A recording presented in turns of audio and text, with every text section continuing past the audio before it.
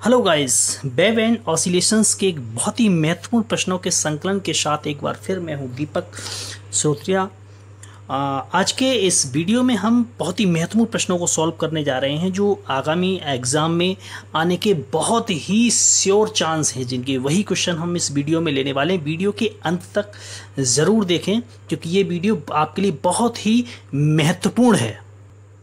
चलते हैं पहले प्रश्न की तरफ़ की एक सरल आवर्त गति करते हुए कण के लिए उसके विस्थापन x तथा उस पर लगने वाले बल F में संबंध होगा।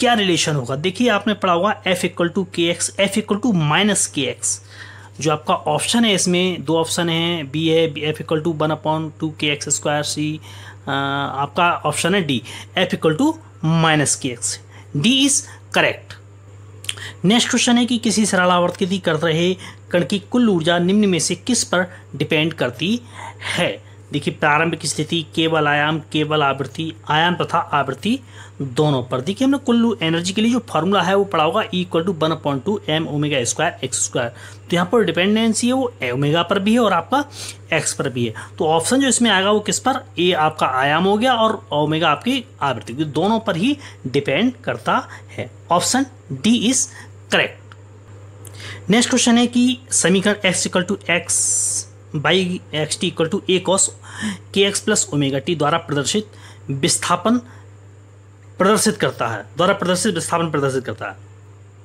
मतलब किस डायरेक्शन के लिए आपका इक्वेशन शो है? यहाँ पर कि प्लस एक्स डायरेक्शन में गतिमान अनुपस्थ तरंग प्लस एक्स डायरेक्शन में गतिमान अनुदैर्घ्य तरंग। तो यहाँ पर जो आपकी डिपेंडेंसी ये तो आपका क्योंकि यहाँ पर प्लस का साइन है प्लस का साइन का मतलब ये आपका नेगेटिव एक्सिस है। यहाँ पर अगर प्लस लगा हुआ है तो नेगेटिव एक्सिस में है। और माइनस है तो आपका पॉजिटिव एक्सिस, क्योंकि यहाँ पर प्लस है तो इसलिए नेगेटिव एक्सिस में नेगेटिव एक्स एक्सिस में आपका ये होगा, और नेगेटिव एक्सिस कौन सी अनुप्रस्थ तरंग होगी आपकी? तरफ़ से आपकी कौन सी? ट्रांसवर्स वेव होगी। तो ऑप्शन जो सी है यहाँ पर वो आपका करेक्ट होगा, option C is correct next question बहुत ही अच्छा क्वेश्चन है कि सरल आवर्त गति में एक आवर्त काल में औसत ऊर्जा होती है। प्रत्येक कौन सी होती है औसत ऊर्जा? देखिए टोटल एनर्जी होगी किसी भी स्टेज में ना, आपको एनर्जी का फार्मूला भी कराया था one point two M omega square X square ये किसी भी डिस्प्लेसमेंट एक्स पर आपकी एनर्जी है। अब चूँकि जो मैक्सिमम एनर्जी होगी, वो आपकी पूरे एम्पलीट्यूड पर होगी मतलब ए स्क्वायर पर होगी जाके सीधी सीधी एनर्जी तो वो टोटल एनर्जी आपकी जो निकल के आएगी one point two M omega square A square होगी। लेकिन यहाँ पर क्या पूछा है कि एवरेज औसत ऊर्जा आपकी पूछिए। औसत मतलब क्या है? एवरेज का मतलब दो तरह की ऊर्जा तो दो। अब इसका वन पॉइंट टू का हाफ़ करेंगे तो वन अपॉइंट फोर हो जाएगा। तो जो आपका ऑप्शन होगा, वो क्या होगा?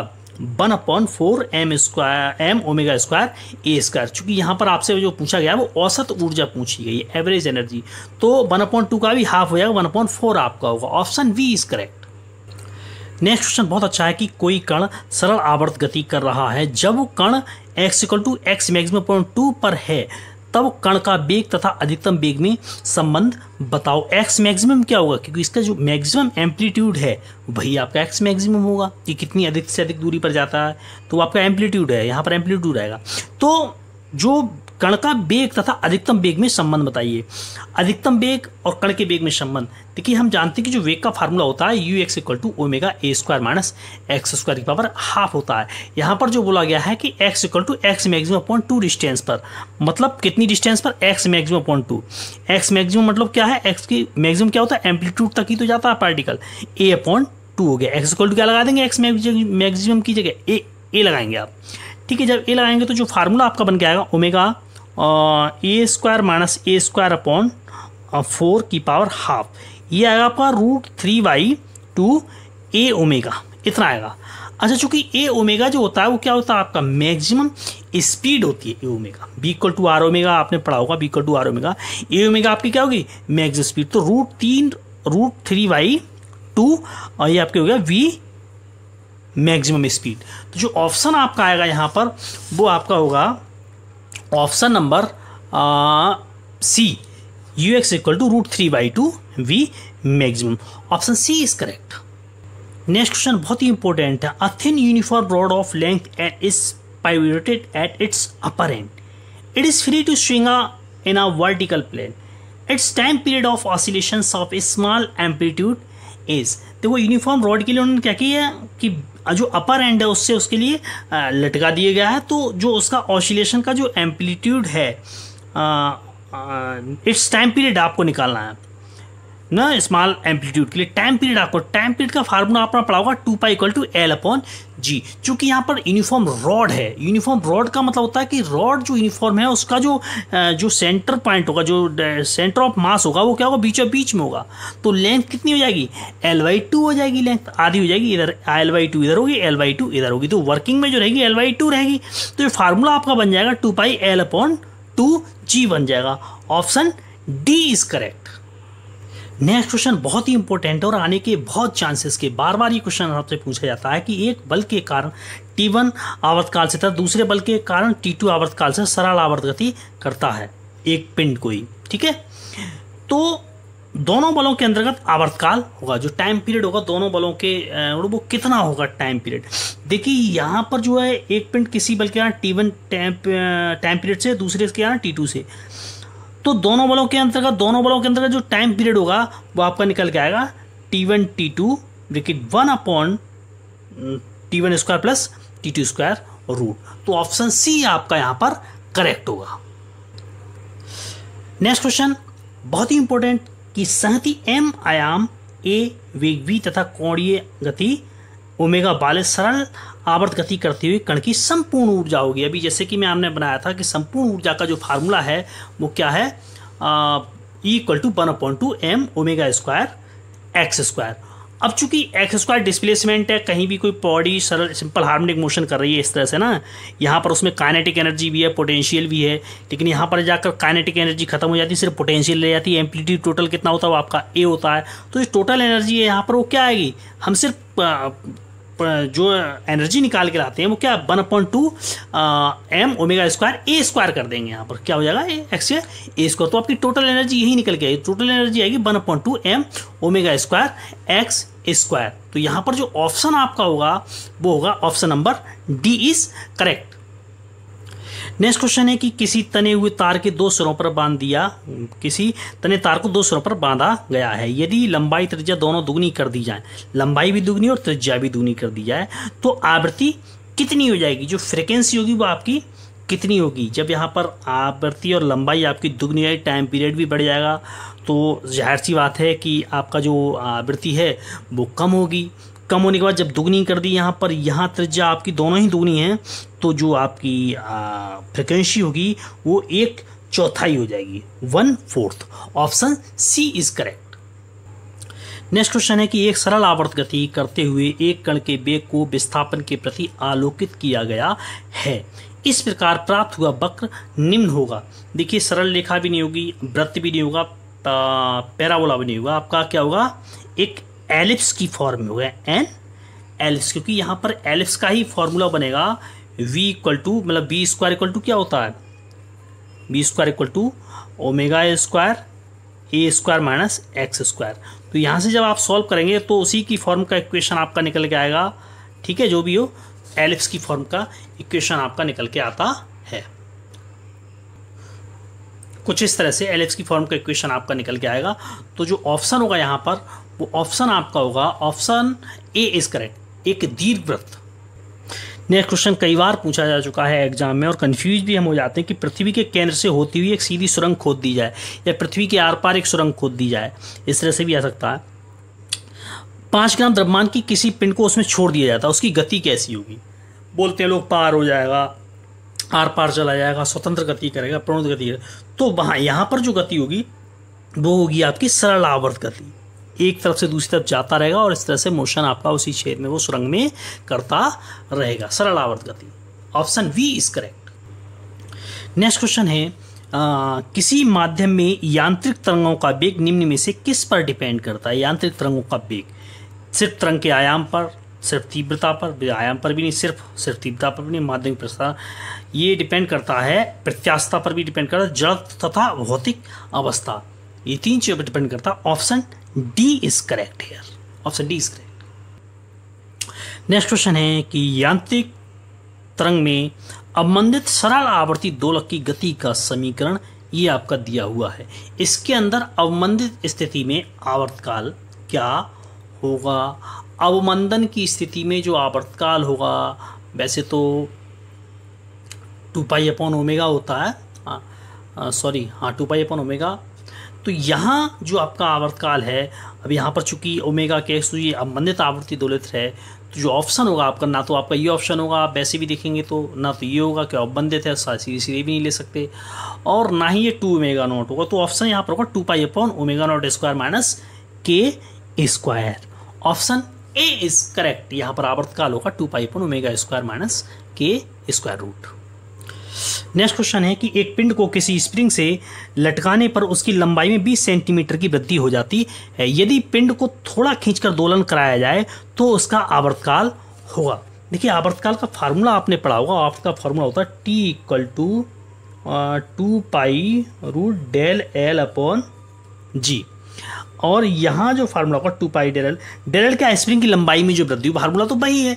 फार्मूला वही है, चूँकि यहाँ पर जो आपने यूज़ किया, वो किसका यूज़ किया है? स्प्रिंग का यूज़ किया है। और स्प्रिंग में डेल की वृद्धि हो रही है, ठीक है? डेल एल लगा दीजिए। डेल एल में इसमें ट्वेंटी सेंट, ठीक है? अपॉन जी की वैल्यू क्या होगी? नाइन एट्टी सेंट, और सेंटीमीटर में ले रहे हैं, आपका टू पाई यहाँ रहेगा, और रूट में है ठीक है? ये फोर्टी नाइन हो गया, ये आपका हो जाएगा टू पाई अपॉन सेवन। तो जो ऑप्शन आपका यहाँ पर होगा टू पाई अपॉन सॉरी ये हाँ सेवन ही होगा रूट में हट जाएगा। तो ऑप्शन आपका यहाँ निकल के आता ऑप्शन नंबर डी आपका करेक्ट है। Option number D two pi upon seven आपका नेक्स्ट क्वेश्चन है समय टी पर किसी कण का विस्थापन Y equal to five sine hundred pi T plus five है। हम यहाँ पर कंपेयर कर देते हैं इस वाले फार्मूले से, जो आपका फार्मूला है विस्थापन का by two A sine omega T plus five यहाँ पर कण की दोलनी आवृत्ति आपको निकालनी मतलब ओमेगा निकालना है। ओमेगा सॉरी ओमेगा नहीं, दोलनी आवृत्ति निकालनी मतलब two pi N equal to क्या होता है? ओमेगा होता है। Two pi N equal to omega होता है। ओमेगा यहाँ पर कितना है आपका? हंड्रेड है। ओमेगा कितना? हंड्रेड है। मतलब हंड्रेड। तो जो आवृत्ति आपकी निकल के आएगी वो कितनी आएगी? सॉरी यहाँ हंड्रेड पाई आपका हंड्रेड पाई है ये, ठीक है? पाई से पाई कट हुआ और ये आपका फिफ्टी मतलब फिफ्टी हर्ट आ जाएगी। फ्रिक्वेंसी आपकी कितनी आई? फिफ्टी हर्टस ऑप्शन आपका यहाँ पर सी करेक्ट बैठता option C is correct fifty hertz next question बहुत अच्छा। किसी एक कण पर दो रैखिक सरल आवर्त गति के दो लित्र, जिनकी आवृत्ति तथा आयाम समान हैं, अविलंबत आरोपित किए जाते हैं। यदि कण की लब्ध गति का स्वरूप वृत्ताकार हो तो दोनों के मध्य कलांतर होगा। देखिए, स्वरूप अगर वृत्ताकार है सर्कुलर फॉर्म में है तो कलांतर की जो वैल्यू होगी, वो होगी pi by two option C is correct next question इस तरह का एक क्वेश्चन आप पहले भी पढ़ चुके हैं कि समीकरण Y equal to A sine K X minus omega T देखो ये आपका पॉजिटिव एक्स एक्सिस में है। ये पॉजिटिव में क्योंकि यहाँ पर नेगेटिव का साइन है। एक तनी हुई डोरी में अधिक, प्रगामी तरंग को निरूपित करती है। कण का अधिकतम वेग होगा। अधिकतम वेग क्या होगा? अधिकतम वेग होगा A omega option A is correct next question है, बहुत अच्छा क्वेश्चन है कि एक सरल आवर्त तरंग जिसका आयाम ए है। जिसका आयाम ए है और आवर्तकाल कितना है? टी है। को समीकरण Y equal to A sine pi T plus T pi T plus force metre से व्यक्त किया जाता है। तब ए मीटर में टी सेकेंड के मान क्या होंगे? एम्पलीट्यूड तो आपको फाइव हो गया यहाँ से। दिखाई दे रहा Y equal to A sine omega T से। ओमेगा इक्वल टू क्या है यहाँ पर? वो आपका है पाई तो ओमेगा इक्वल टू क्या होता है? टू पाई एन होता है या टू पाई अपॉन टी कर लेते हैं टाइम पीरियड की फॉर्म में कितना? पाई है। पाई से पाई घटा, टी ऊपर चलाएगा, टी इक्वल टू कितना आ जाएगा? टी आएगा दो। आपका टू सेकेंड आया। ऑप्शन जो यहाँ पर बैठता है, टी इक्वल टू टू कौन सी में? ऑप्शन नंबर ए में। A equal to A five and T equal to two. Option A is correct. बहुत ही इंटरेस्टिंग क्वेश्चन है। नेक्स्ट की the displacement equation of a particle is X equal to six cos omega T plus eight sine omega T this represent simple harmonic motion then amplitude of this जब दो तरह के equation आपके adding हो, यहाँ पर cos और sine की, देखो तो यहाँ पर एम्पलीट्यूड एक का सिक्स है, एक का क्या है, आठ है। तो दोनों का जो एम्पलीट्यूड होगा, वो सीधे सीधे आप किसी भी तरह की इक्वेशन हो तो सीधे सीधे निकाल देंगे क्या? कि A equal to root A one square plus A two square ठीक है, यहाँ पर ए वन कितना है? सिक्स है और ए टू कितना है? एट है। तो ये आपका thirty six plus sixty four ये आपका हंड्रेड आएगा हंड्रेड आएगा आपका लगभग टेन तो जो ऑप्शन होगा यहाँ पर, जो सिंपल हार्मोनिक एम्पलीट्यूड का, वो कितना होगा? Ten metre. Option C is correct इस तरह के क्वेश्चन आपके बहुत तरह से पूछे जाते हैं। कई क्वेश्चन इस तरह के आएँगे। तो उसमें ऐसे ही आप एम्पलीट्यूड निकालेंगे। दोनों का स्क्वायर करने के ऐड करके उसका क्या निकालो? स्क्वायर रूट निकाल दो। ठीक है? बहुत ही अच्छा क्वेश्चन है कि equation of motion of simple harmonic motion is expressed as देखिए, आपने सिंपल हार्मिक मोशन का मैंने फार्मूला भी बताया था F equal to minus K X करके आपको कुछ बताया था मैंने, ठीक है? तो यहाँ एफ़ इक्वल टू क्या होता है? M d two x over d t square मतलब force equal to mass into acceleration equal to minus k upon k upon x k x हो गया, ठीक है? D two x over d t square equal to क्या हो जाएगा? Minus के upon M X जब इसे इधर लेके आएँगे तो क्या होगा? D two x over d t square d two x over d t square plus k upon m x equal to zero तो जो ऑप्शन आपका बनेगा, यहाँ पर वो ऑप्शन सी है यहाँ पर d two x over d t square plus k upon m x equal to zero बहुत ही इंपॉर्टेंट क्वेश्चन है, आप इसको ज़रूर रट लें। ये बहुत ही अच्छा क्वेश्चन आ गया, देखो। कि a body executing simple harmonic motion is represented by equation x equal to six point zero cos nine point forty plus two point three then maximum speed of the body is equal to जो maximum speed होती है, वो क्या होती है? A omega होती है, हमने पढ़ा था ए ओमेगा ए क्या है? सिक्स है। ओमेगा क्या है? देखो यहाँ पर, भाई A cos omega t plus five से कॉम्पेयरिंग कर देंगे इसकी। ए आपका सिक्स हो गया। ओमेगा आपका क्या होगा नाइन पॉइंट फोर और जो मैक्सिमम स्पीड होती है, वो क्या होती है? वी मैक्सिमम इक्वल टू क्या होती है? ए ओमेगा ए कितना है? सिक्स और ये आपकी नाइन पॉइंट फोर है. ए और सिक्स और नाइन पॉइंट फोर आपका हो गया. दोनों को मल्टीप्लाई करेंगे, कितना आएगा? फोर फोर मतलब fifty six point four fifty six point four जो आपका ऑप्शन है, वो है ऑप्शन नंबर सी में fifty six point four metre per second next question है कि एक कण की गति y equal to A sine omega t plus B cos omega t से प्रदर्शित है। ये गति होगी। कैसी होगी ये गति? देखिए, ये सिंपल हार्मोनिक मोशन तो आपका साफ़ नज़र आ रहा है। बस एम्पलीट्यूड इसका क्या हो जाएगा? मैंने पहले भी आपको बताया था पिछले क्वेश्चन में कि जो एम्पलीट्यूड है उनका स्क्वायर एडिंग कर दो, उसका स्क्वायर रूट निकाल दो। मतलब A square plus B square की पावर हाफ़ होगा। ये सिंपल हार्मोनिक मोशन होगा। ऑप्शन होगा, देखिए हीरा simple harmonic motion with amplitude equal to A square plus B square की पावर हाफ़ ये आपका C option C is correct next question बहुत अच्छा है कि बाई अक्ष पर गतिमान किसी कण की गति का समीकरण y equal to P plus Q sine omega t है तो सरल आवर्त गति कर रहा है। तो कौन सरल आवर्त गति कर रहा है? जिसका आयाम होगा। अब यहाँ पर दो इक्वेशन तो मिल गई, लेकिन यहाँ पर ये सिंपल हार्मोनिक मोशन का इक्वेशन ये सिर्फ़ पी है plus Q sine omega t तो यहाँ पर जो एम्पलीट्यूड होगा, वो सिर्फ़ और सिर्फ़ क्या होगा? क्यू ही होगा। तो ऑप्शन बी आपका करेक्ट होगा। Option B is correct Q next question प्रगामी और अपरिगामी तरंग से संबंधित है। एक तरंग की आवृत्ति एवं चाल क्रम से 500 हर्टज और 350 मीटर पर सेकेंड है। किन्हीं दो संलग्न स्थितियों में कणों के बीच का कलांतर 60 डिग्री है तो उनके बीच की दूरी होगी। बीच की दूरी निकालने के लिए कलांतर और पथांतर में रिलेशन हमें पता होना चाहिए। ठीक है फ़ेज़ डिफरेंस में और वो होता है आपका five equal to d del five equal to two pi upon lambda del x देखिए, यहाँ पर हमको लेमडा निकालना है। लेमडा क्या होता है? B equal to n lambda B कितना दिया हुआ है यहाँ पर? तीन सौ। बी कितना दिया हुआ? तीन सौ। और एन कितना है? आपका पाँच सौ एन कितना है? पाँच सौ हर्टस एन हाँ पाँच सौ hertz B equal to three fifty three fifty लगाएँगे, ठीक है? कितना? थ्री फिफ्टी ठीक? और पाँच सौ लेमडा और जब इसको सॉल्व करेंगे तो लेमडा इक्वल टू निकल लेमडा इक्वल टू निकल के आएगा। सॉरी फिफ्टी सात पाँच सत्तर पैंतीस और पाँच नहीं ten seven seven upon ten lambda equal to seven upon ten मतलब ज़ीरो पॉइंट सेवन आ गया निकल के ठीक है? तो यहाँ पर आप वैल्यू आ लेंगे two pi upon two into three point one four या पाई रहने दो upon zero point seven del x आपको आ, निकालना है पथांतर कितना है? वो आप सिक्सटी डिग्री मतलब पाई बाई थ्री पाई से आपका पाई कट होगा, ठीक है?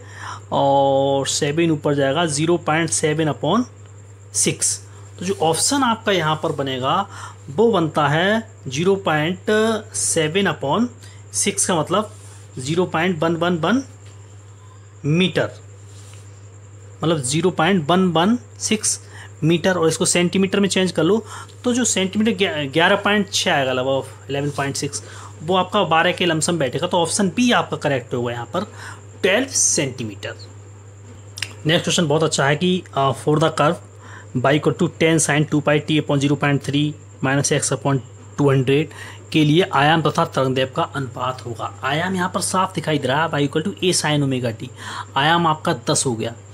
और two pi into t upon capital T minus x upon lambda से आप कंपेयरिंग करें लेमडा आपका 200 आ गया एम्पलीट्यूड 10 आ गया 10 का 200 से आप डिवाइड करेंगे तो आयाम और एम्पलीट्यूड का अनुपात क्या होगा? दस बटे दो सौ, दस बटे दो सौ, दस बटे दो सौ मतलब एक बटे दस, ज़ीरो कट जाएगा, बीस हो गया मतलब एक ratio twenty one ratio twenty मतलब ऑप्शन जो आपका है ए करेक्ट है यहाँ पर option A one ratio twenty बहुत ही अच्छा क्वेश्चन है। एक धागे के अनुपस तोलन की आवृत्ति 100 चक्र पर सेकेंड है। यदि धागे का तनाव बढ़ाकर चार गुना कर दिया जाए तो आवृत्ति होगी। अब देखिए, तनाव और आवृत्ति के बीच रिलेशन हमको पता होना चाहिए। आवृत्ति प्रपोजनल होती है रूट टी के। अब तनाव अगर चार गुना कर दिया तो रूट चार कितना होगा? दो हो जाएगा। रूट फोर कितना आएगा आपका निकल के? दो। तो जो आवृत्ति होगी दोगुनी हो जाएगी। अब चूँकि आवृत्ति है कितनी? आवृत्ति आपकी हंड्रेड चक्र साइकिल पर सेकेंड है तो हंड्रेड की दो गुना कितना होगा?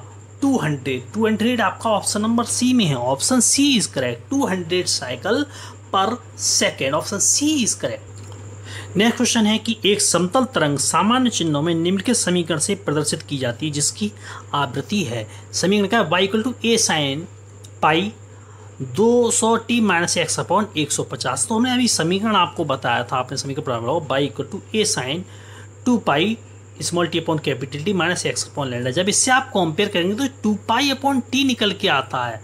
वो टू पाई अपॉन टी यहाँ पर किसके इक्वल है? देखिए टू पाई अपॉन टी है टू पाई अपॉन टी मतलब कैपिटल टी की बात करें स्मॉल टी छोड़ दीजिए टू हंड्रेड पाई मतलब two pi upon T two pi upon T equal to two hundred pi pi से पाई कट हुआ तो और टू से टू हंड्रेड यहाँ पर पूछा क्या है? आवृत्ति जो आपका टाइम पीरियड का रेसिप्रोकल होती है, ये आवृत्ति होगी one upon T n equal to one upon T होता है तो एन इक्वल टू क्या हो जाएगा? Hundred one upon equal to n कर लो सीधे सीधे हंड्रेड तो ऑप्शन जो यहाँ पर है, वो आपका हंड्रेड हर्टस का आएगा, कि जो आवृत्ति होगी वो हंड्रेड हर्टस होगी. Option V is correct next question है कि taking the direction to the as the positive direction of x axis the function y equal to f x minus B t represents क्या represent करता है? कि stationary wave a wave travelling to the right a wave travelling to the left a simple harmonic wave क्योंकि यहाँ negative चिन्ह है तो ये आपकी राइट में ट्रेवल होगी और ये आपकी वेब होगी a wave travelling to the right क्योंकि सिंपल हार्मोनिक कर्व तो है ही नहीं है तो a wave travelling to right option V is correct next है कि the solution of one dimensional wave equation. Solution क्या होगा? ये भी वन डायमेंशन नहीं, ये भी वन डायमेंशन नहीं, ये भी वन डायमेंशन नहीं। Three power of one dimensional क्या है वेब इक्वेशन का formula y equal to sine two x cos B t आपका ऑप्शन जो होगा, आपका बी होगा option V is correct next question है कि अप्रगामी तरंग को प्रदर्शित किया जाता है। देखो, अप्रगामी तरंग तब बनती है जब दो तरंगों का सुपर होता है। अब यहाँ पर दो तरंगों सुपर पोजिशन जो होगा, वो क्या है? Y equal to two A sine k x cos omega t जब उसको सॉल्व करते हैं तो ऑप्शन आपका ए निकल के आता है। ठीक है? ये आपका ऑप्शन ए करेक्ट को y equal to two A sine k x cos omega t next question है कि एक तार में अनुदैत तरंग की आवृत्ति के लिए व्यंजक है। वो क्या होगा? वो होगा आपका E upon rho one upon twelve E upon rho क्योंकि यहाँ पर अनुदैत तरंग के लिए है, आवृत्ति के लिए व्यंजक E upon rho one upon two L option C is correct a plane longitudinal wave travel in a long tube with amplitude by m and angular frequency omega. The density of the medium is rho. Then the energy density in the medium is, देखो energy हमको पता है one upon two m omega x square होती है displacement चूँकि x के यहाँ पर बाई एम है तो बाई एम स्क्वायर हो जाएगा। वन अपॉइंट टू एम अब डेंसिटी है, चूँकि जो मीडियम की डेंसिटी है, वो रो है। तो रो के लिए एम की जगह आप लगा देंगे सीधा सीधा। तो one upon two one upon m की जगह रो लगा दो और एक्स की जगह बाई लगा दो। तो फार्मूला आपका कौन सा फिट बैठ रहा है यहाँ पर? One upon two rho omega square by m square, जो ऑप्शन डी है, वो आपका यहाँ पर करेक्ट होगा। क्योंकि यहाँ पर जो है एम की जगह डेंसिटी आ गई तो आपका एनर्जी डेंसिटी ही शो करेगा। तो ऑप्शन डी आपका करेक्ट होगा one upon two rho omega square by m square. पराशरभ तरंगें निम्न द्वारा उत्पन्न की जाती हैं। तो पराशरभ तरंगें जो उत्पन्न की जाएँगी फ़ोटो इलेक्ट्रिक इफ़ेक्ट या सीजो इलेक्ट्रिक इफ़ेक्ट या फेराडे इफ़ेक्ट या कॉम्पटन इफ़ेक्ट कॉम्पटन इफ़ेक्ट आपका भी अलग है फेराडे इफ़ेक्ट भी नहीं होगा फ़ोटो इलेक्ट्रिक इफ़ेक्ट भी नहीं होगा। पराशरभ तरंगें जो उत्पन्न की जाएँगी वो आपकी दाप वैद्युत प्रभाव से उत्पन्न की जाएँगे। Piezo electric effect option V is correct क्योंकि प्रकाश वैद्युत प्रभाव जो है आपका तरंग यांत्रिकी के लिए है फेराडे कॉम्पन सभी एक तरह से तरंग के लिए है। ये भी, भी आपका तरंग सॉरी तरंग के लिए नहीं है आपका कण यांत्रिकी के लिए ये भी कण के लिए है ठीक है? तो ये आपका होगा दाप वैद्युत प्रभाव। बहुत ही इंपॉर्टेंट क्वेश्चन बार बार पूछा जाता है कि अनुदैर्घ्य तरंगों में नहीं हो सकता। एक विशेष तरंग वेगमान, ध्रुवण या विशेष तरंग वेगमान या ऊर्जा का प्रेषण। ऊर्जा का प्रेषण भी हो सकता है, एक विशेष तरंग मान भी हो सकता है, एक विशेष तरंग वेग भी मान हो सकता है। सिर्फ़ आपका क्या नहीं हो सकता? ध्रुवण नहीं हो सकता। अंडर तरंगों में ध्रुवण नहीं B polarised ध्रुवण option V is correct next question next बहुत ही मज़ेदार और अच्छा क्वेश्चन है कि ए, कोई तरंग वाई अक्ष की ऋणात्मक डायरेक्शन में गति करता है तब उसका समीकरण होगा। जब नेगेटिव डायरेक्शन है तो उस बीच में साइन क्या होना चाहिए? यहाँ पर पॉजिटिव होनी चाहिए। देखो है दोनों पॉजिटिव ठीक है? अगर नेगेटिव में अब चूँकि यहाँ पर वाई एक्सिस में मोशन कर रहा है तो इधर आना चाहिए क्या? एक्स एक्सिस डिस्प्लेसमेंट क्या? एक्स एक्सिस अब एक्स तरफ़ डिस्प्लेसमेंट हुआ इसका ठीक है? बाई एक्सिस की तरफ़ मोशन हुआ। तो यहाँ पर x equal to A sine omega t. अब चूँकि ये नेगेटिव एक्सिस इसके लिए आपका कौन सा आएगा? पॉजिटिव यहाँ पर देखो माइनस आ गया। माइनस प्लस ही होगा। के चाहे से omega t plus k y कर लो, चाहे इधर से K Y plus omega T कर लो। ऑप्शन वी आपका यहाँ पर करेक्ट होगा। X equal to A sine omega t plus k y चूँकि यहाँ पर देखो माइनस आ गया। ध्यान रखना है। ये इसको आप उल्टा सीधा भी लिख सकते हैं इस तरह से। ठीक? नेक्स्ट क्वेश्चन बहुत ही अच्छा है कि कोई अनप्रस्थ तरंग एक्स एक्सिस पर गति कर रही है। माध्यम के कण किस दिशा में गति कर? जब भी एक्स एक्सिस पर कोई तरंग गति जा रही, अनुप्रस्थ तरंग है, अनुप्रस्थ तरंग है एक्स एक्सिस पर गति कर रही तो माध्यम कण किस दिशा में गति करेंगे? एक्स वाई में या एक्स जेड में या बाई जेड में? अब भाई माध्यम के पार्टिकल हैं तो एक्स एक्सिस में तो मोशन करने का मतलब ही नहीं है किसी का अनुप्रस्थ तरंग में कण का, ठीक है? वो तो तरंग जा रही है आपकी एक्स एक्सिस में तो मोशन जो होगा वो कहाँ होगा? बाई जेड प्लेन किसमें D option y z plane next question है, किसी, जब किसी माध्यम में अपरिगामी तरंग पैदा होती है तो कौन से भौतिक अवलक्षण निष्पन्द पर परिवर्तित होते हैं? कि यहाँ पर ये क्या है आपके? आप जानते हैं ये नोट्स होते हैं, ये ये नोट्स होते हैं। यहाँ पर प्रेशर और ये आपका एंटी नोट्स होते हैं, बीच में ये एंटी नोट्स हैं। तो यहाँ पर जो नोट्स हैं, नोट्स पर क्या परिवर्तित होंगे? नोट्स पर जो परिवर्तित होंगे वो क्या आपका डेंसिटी भी यहाँ पर न्यूनतम होती है और आपका जो प्रेशर है, जो है, वो भी आपका क्या होता है? एंटी नोट्स पर। आपके एंटी नोट्स पर जो निष्पन्द है, ये रहा एंटी नोट्स आपका, ये ये एंटी नोट्स है, ये ये एंटी नोट्स है, ये नोट्स हैं और ये आपके एंटी नोट्स हैं। तो एंटी नोट्स पर क्या परिवर्तित होगा? जो आपका एंटी नोट्स पर परिवर्तित, वो घनत्व और दाब क्या होंगे? वो मिनिमम होंगे डेंसिटी और प्रेशर तो जो कौन से निष्पन्न पर परिवर्तित होते हैं? तो जो घनत्व और दाब हैं, वो दोनों क्या होते हैं? मिनिमम होते हैं। तो परिवर्तित कौन होंगे? घनत्व और दाब दोनों। ठीक है? ऑप्शन सी इज़ करेक्ट ना तो केवल घनत्व ना ही केवल दाब दोनों ही आपके परिवर्तित होते हैं, क्योंकि न्यूनतम होते हैं। ठीक है? नेक्स्ट क्वेश्चन है कि समीकरण x equal to A sine square k x minus omega t एक तरंग गति प्रदर्शित करता है, जिसका एम्पलीट्यूड ए आवृत्ति तो यहाँ पर ध्यान रखेंगे, ये साइन स्क्वायर है। पहले यहाँ पर आपको स्क्वायर को हटाना है, और उसको हटाने के लिए आप क्या करेंगे? मैंने सॉल्यूशन आपका दे रखा है, देखिए कि x equal to A sine square k x minus omega t है। आप इसको टू से मल्टीप्लाई करेंगे, इस तरह से बनेगा, और डिवाइड कर देंगे टू से, ठीक है? टू साइन स्क्वायर तो टू साइन स्क्वायर को कॉस में चेंज कर, one minus cos two theta करके होता है। थीटा की जगह के एक्स माइनस ओमेगा टी है। तो जो एम्पलीट्यूड आ गया यहाँ पर, वो क्या आ गया? A by two minus A by two cos two k x पर। तो जो एम्पलीट्यूड होगा, वो कितना हो जाएगा? एम्पलीट्यूड तो आपको साफ़ साफ़ नज़र आएगा कि ए बाई टू है एम्पलीट्यूड और ऑप्शन डी में है और ऑप्शन बी में ए बाई टू हमको आवृत्ति और देखनी है, आवृत्ति क्या होगी? यहाँ पर जो आवृत्ति आपकी निकल के आएगी, वो कितनी है? टू ओमेगा, क्या है? Two omega. कितनी है? Two omega. तो जो आवृत्ति टू ओमेगा करके है, वो आपकी ओमेगा अपॉन टू पाई आ जाएगी ना? Two pi two pi. N बराबर टू ओमेगा तो टू ओमेगा ही है।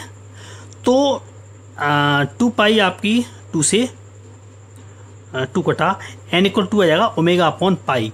आवृत्ति जो आपकी निकल के आएगी, वो कितनी आएगी? Frequency omega upon pi option B आपका करेक्ट हुआ। आयाम ए बाई टू और आवृत्ति omega upon pi next question है, दो ध्वनि तरंगे क्रम से है। Y one equal to A sine omega t minus k तथा y two equal to A cos omega t minus k x से रिप्रेजेंट है। दोनों तरंगों के बीच कालांतर हुआ। देखिए, यहाँ पर यहाँ साइन है, यहाँ कॉस है, बाकी सब कुछ क्या है? सेम है। अब यहाँ पर जैसे ही पाई बाई टू माइनस करेंगे आप cos pi by two minus ये तो लौट कर साइन आ जाएगा। तो जो कलांतर होगा वो क्या होगा? कलांतर पूरा, वो क्या होगा? Pi by two. भाई cos pi by two minus theta equal to क्या होता है? साइन सीटा ये सिक्वेशन यहाँ लौट कर आ जाएगी। दोनों के बीच जो कलांतर होगा वो कितना होगा? पाई बाई टू होगा। नेक्स्ट क्वेश्चन बहुत ही अच्छा है कि एक चार मीटर लंबा तार इसके अपने एक सिरे पर लगे 300 सौ हर्टस की कंपनी द्वारा कंपनशील है। तार चार खंडों में अनुनादित है। चार खंड यहाँ पर बनते हैं। तारपान अनपस तरंगों का वेग होगा मीटर पर सेकेंड में। वेग इक्वल टू क्या होता है? बी बराबर एन लेमडा ठीक है? आपको लेमडा निकालना होता है। यहाँ पर चार खंड आपके ये हो गए। तो वेवलेंथ जो होगी वो कितनी होगी यहाँ पर? ये इतनी। क्योंकि वेवलेंथ आपको निकालनी वेवलेंथ लगाना है यहाँ पर। वेवलेंथ कितनी इतनी कितनी होगी? आधी। चार मीटर का मतलब दो मीटर। हर्टस आवृत्ति कितनी है? आवृत्ति दी हुई है आपकी तीन सौ हर्टस। तो थ्री हंड्रेड इंटू कितना? दो metre equal to six hundred metre per second option कौन सा है इसमें? Option B is correct next question है, किसी अप्रगामी तरंग के तरंगदे के पदों में किन्हीं दो क्रमागत नोट्स निस्बंधों के बीच की दूरी होगी? कितनी होगी? हम देखो, इसी से देख लेते हैं वेवलेंथ कितनी, ये आपका क्या होते हैं? एंटी नोट्स ये होते हैं आपके नोट्स, ये नोट्स, ठीक है, ये नोट्स, ठीक है? यहाँ पूछा निष्पंद के बीच की दूरी। अब ये पूरी डिस्टेंस कितनी है? लेमडा वाई ये पूरी डिस्टेंस कितनी है? लेमडा है, यहाँ से लेकर यहाँ तक लेमडा है वेवलेंथ तो ये डिस्टेंस कितनी होगी नोट्स के बीच की? लेमडा वाई टू होगी। और यहाँ पूछा क्रमागत निष्पन्नों के बीच की दूरी।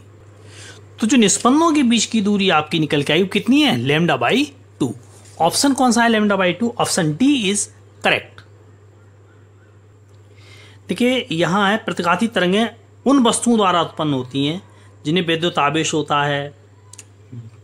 20 किलो हर्टस से अधिक आवृत्ति से कंपन करते हैं, अत्यधिक आयाम से कंपन करते हैं, जो माध्यम में ध्वनि की चाल की, ध्वनि की चाल से अधिक चाल से गमन करते हैं। देखिए, प्रतिघाती तरंगें जो होती हैं, वो ऐसी वस्तुओं से उत्पन्न होती हैं, जिनकी चाल जो होती है, ध्वनि की चाल से ज़्यादा होती है। जैसे सुपरसोनिक विमान होता है तो उस तरह से आपका ऑप्शन डी करेक्ट बैठता है कि जो प्रतिघाती तरंगें हैं, जो सॉक वेव हैं, वो जो माध्यम में ध्वनि की चाल से अधिक चाल से गमन करते हैं, उन वस्तुओं से ही उत्पन्न होती हैं। Option D is correct. Next question है कि अप्रगामी ध्वनि तरंगों में दाब विचरण सर्वत्र शून्य होता है, सर्वत्र समान होता है। भाई, दाब जो है नोट्स पर नोट्स पर क्या होगा दाब? आपका ज़्यादा होगा, एंटी नोट्स पर क्या होगा? एंटी नोट्स पर क्या? नोट नोट आपके एंटी नोट नोट्स पर क्या होगा आपका? ज़्यादा होगा यहाँ पर। एंटी नोट्स पर कम होगा। तो कौन सा ऑप्शन है? ऑप्शन सी, निष्पन्नों पर महत्ता और प्रस्पंदों पर शून्य होता है। Option C is correct air next question है, कि एक तनी हुई डोरी में उत्पन्न एक प्रगामी तरंग निम्न में से किस समीकरण द्वारा, किस किस समीकरण द्वारा व्यक्त की जाती है? मतलब इस समीकरण द्वारा व्यक्त की जाती है, जो भी परिक्रामी तरंग है। तो उसका अधिकतम कण वेग है। मैक्सिमम कण वेग वैसे तो ए ओमेगा हम जानते हैं कि ए ओमेगा होता है। कैसे होता है? कि यू इक्वल टू आपने पढ़ा equal to A omega square minus x square x ये क्या अगर डिस्प्लेसमेंट अगर आपका क्या हो डिस्प्लेसमेंट अगर शून्य हो यहाँ यहाँ पर हो डिस्प्लेसमेंट मतलब ऑब्जेक्ट कहाँ हो? यहाँ हो। तो उसके जो वेलोसिटी होगी, इस कंडीशन में वो क्या होगी? सबसे ज़्यादा होगी। तो एक्स इक्वल टू ज़ीरो रखेंगे तो ए ओमेगा स्क्वायर आएगा ओमेगा स्क्वायर रूट खोलेंगे तो ए ओमेगा आ जाएगा। ऑप्शन ए इज़ करेक्ट जो मैक्सिमम कणवेग है, वो आपका होगा ए ओमेगा नेक्स्ट क्वेश्चन है कि एक दोनों सिरों पर खुले ऑर्गन पाइप उत्पन्न करता है। तो खुला ऑर्गन पाइप दोनों सिरों पर आपके अणुदैर स्थिर तरंग option A is correct. Next question है एक विमीय तरंग का सही समीकरण है। क्या है?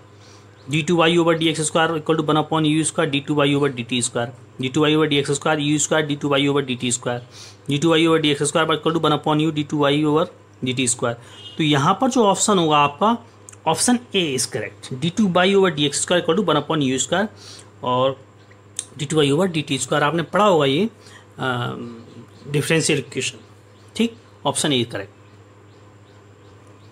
क्वेश्चन है, in stationary waves, energy is uniformly distributed. भाई, ऐसा तो होता है नहीं, स्टेशनरी वेव में नोट्स और एंटी नोट्स भी होते हैं। Energy is maximum at nodes and min, and maximum at antinodes. दोनों भी सेम ही हो गए, ये भी गलत है। Energy is minimum at nodes and maximum at antinodes. Alternative maximum minimum of energy are produce नहीं, जो आपकी एनर्जी होगी, वो नोट्स पर मिनिमम होगी और एंटी नोट्स पर क्या होगी? ज़्यादा होगी। ऑप्शन सी इज़ करेक्ट बहुत अच्छा क्वेश्चन कौन सा कथन असत्य है? फॉल्स कौन सा है? ध्वनि तरंगे, ध्वनि सीधी रेखा में गति करती है। ध्वनि ऊर्जा का रूप है, ये भी सही है। ऊर्जा का रूप है, ये भी ठीक है। ध्वनि निर्वात में तेज चलती हैं।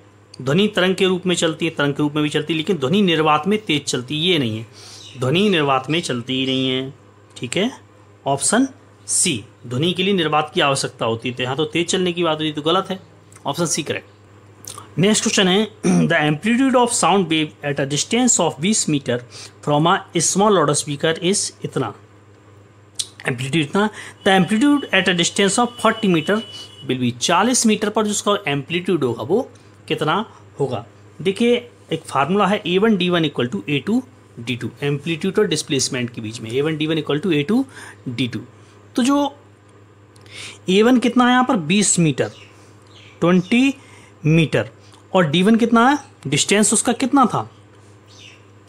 डिस्टेंस है A one sorry d one A one कितना एम्पलीट्यूड है? Zero point zero one two m m zero point zero one two m, zero point zero one two m m का मतलब ज़ीरो दस की पावर माइनस थ्री मीटर में ही change कर लेंगे। अपॉन में डी टू कितना है? चालीस मीटर की दूरी पर आपका क्या होगा? तो चालीस मीटर की दूरी यहाँ पर लाएँगे, फोर्टी। फोर्टी मीटर मतलब मीटर में ही सब कुछ, चेंज करेंगे आपका आएगा दो, zero point zero zero six. ये आ जाएगा zero point zero zero six in ten की पावर माइनस थ्री मीटर। अब ये मीटर में हटाएँगे क्योंकि यहाँ पर सारे ऑप्शन किसमें हैं? एम एम में है तो zero point zero six six, zero point zero six m m है? ऑप्शन ए आपका सही होगा। बहुत अच्छा क्वेश्चन है, बार बार पूछा जाता है, कण वेग, यूपी तथा तरंग वेग बी में संबंध क्या होता है? देखो जो आपका कण वेग होता है, वो वी का d y over d x multiple होता है, ठीक है? ऑप्शन सी करेक्ट होगा UP equal to minus b d y over d x next question अच्छा है। दो तरंगों का वेवलेंथ लेमडा है। यदि कलांतर का मान पाई बाई टी हो तो पथांतर का मान होगा। हमने कलांतर और पथांतर के बीच रिलेशन पढ़ा है कि जो कलांतर होता है, पथांतर का टू पाई अपॉन लेमडा गुना होता है। तो डेल एक्स आपको यहाँ पर निकालना है। Del x equal to lambda upon two pi into del five अब कलांतर इन्होंने कितना दिया है? कलांतर दिया पाई बाई टू का और लेमडा वेव लेंथ हो गई। लेमडा अपॉन टू पाई और कलांतर पाई बाई टू का। पाई से पाई का टू है, लेमडा वाई कितना आ गया? फोर आ गया, ठीक है? तो जो आपका पथांतर होगा, जो पैथ डिफरेंस होगा, वो होगा lambda by four option A correct next question है कि निम्न में से कौन सा संबंध सही है? B p equal to k upon omega b g equal to omega upon k b p equal to omega upon k या b g equal to d k upon d omega देखिए, जो संबंध सही, जो फ़ेज़ वेलोसिटी होती है, वो omega upon k होती है, ठीक है? P p equal to omega upon k option B correct क्योंकि d omega upon d k आपकी ग्रुप वेलोसिटी हो जाएगी, ये d k upon d omega, ये ग्रुप वेलोसिटी हो जाएगी। लेकिन उल्टा लिखा हुआ है, इसलिए ये भी गलत है। B g equal to omega upon k ये भी नहीं होता d omega upon D k होता है बी जी ठीक? ऑप्शन आपका वी यहाँ पर करेक्ट है। नेक्स्ट क्वेश्चन है, एक फीसो इलेक्ट्रिक दोलन। छियासठ हज़ार हर्टज आवृत्ति के अल्ट्रासोनिक तरंग सृजित कर रहा है। यदि वायु में ध्वनि की चाल 330 मीटर पर सेकेंड हो तरंग का तंदेह होगा। ध्वनि की चाल 330 मीटर पर सेकेंड है। फ्रिक्वेंसी दी हुई है। वी इक्वल टू क्या होता है? वी इक्वल टू होता है एन लेमडा एन लेमडा ठीक है? तो lambda equal to b upon n तीन सौ तीस हो गया अपॉन छियासठ। हज़ार। और ये जो निकल के आएगा इक्वल टू आएगा one upon two hundred zero point five upon hundred equal to zero point zero zero five metre जो बेबलेंथ आएगी, वो कितनी आएगी? Zero point zero zero five metre ये ठीक है? तीन सौ तीस अपॉन छियासठ हज़ार बचा zero point five upon hundred और zero point zero zero five metre. देखेंगे कि यहाँ पर zero point zero zero five centimetre तो है मीटर में ये, ये सेंटीमीटर में zero point zero zero five क्या होगा? पॉइंट फाइव सेंटीमीटर ही होगा ठीक है? सेंटीमीटर में option C correct. Next question में टेबल दी हुई है आपको मिलान करना है। लाउडनेस पिच और क्वालिटी। हिंदी में भी देख लेते हैं। तो तीनों की मैचिंग करनी है। देखिए, प्रबलता जो होती है, वो आपकी तीव्रता पर डिपेंड है। तारक मतलब फ्रिक्वेंसी देता है और गुणता तरंग रूप शो करता है। ठीक है? तो ये आपका हो जाता है प्रबलता three two one three two one three two one option आता है ऑप्शन नंबर बी में। ऑप्शन बी आपका है थ्री टू वन ठीक है? Option B correct. तीव्रता, आवृत्ति और तरंग प्रबलता। तीव्रता से डिपेंड है, तार आवृत्ति और। नेक्स्ट क्वेश्चन है कि two sound wave having a phase difference two sixty degree है path difference of path difference क्या होगा? सिक्सटी डिग्री यहाँ पर क्या दे दिया? फ़ेज़ डिफरेंस दे दिया। फ़ेज़ डिफरेंस जो होता है, कलांतर होता है, पथांतर का टू पाई अपॉन लेमडा गुणा होता है। तो फ़ेज़ आपको डिफरेंस निकालना है, पथांतर निकालना है लैमडा अपॉन टू पाई यहाँ पर डी फाई कितना है? डी फाई यहाँ पर है lambda upon two pi d phi है यहाँ पर पाई बाई थ्री क्योंकि सिक्सटी डिग्री है पाई बाई थ्री हो जाएगा पाई से पाई करो लेमडा अपॉन थ्री टू जा, कितना हो गया? सिक्स तो ऑप्शन जो आपका बनेगा, वो बनेगा lambda by six option C is correct next question है the path difference between the two following waves यही है पैर डिफरेंस आपका ये हो गया। तो द पे, इनका पेथ डिफरेंस आपका निकालना है। दो इक्वेशन के बीच पेथ डिफरेंस कितना होगा। देखिए कलांतर यहाँ पर क्या शो कर रहा है? फ़ेज़ डिफरेंस कितना है? वो फाई का है देखिए। ठीक है यहाँ कुछ नहीं यहाँ फाई है। तो सिर्फ़ फाई हो गया। तो जो कलांतर होगा lambda upon two pi phi होगा। ठीक है ऑप्शन ए करेक्ट है।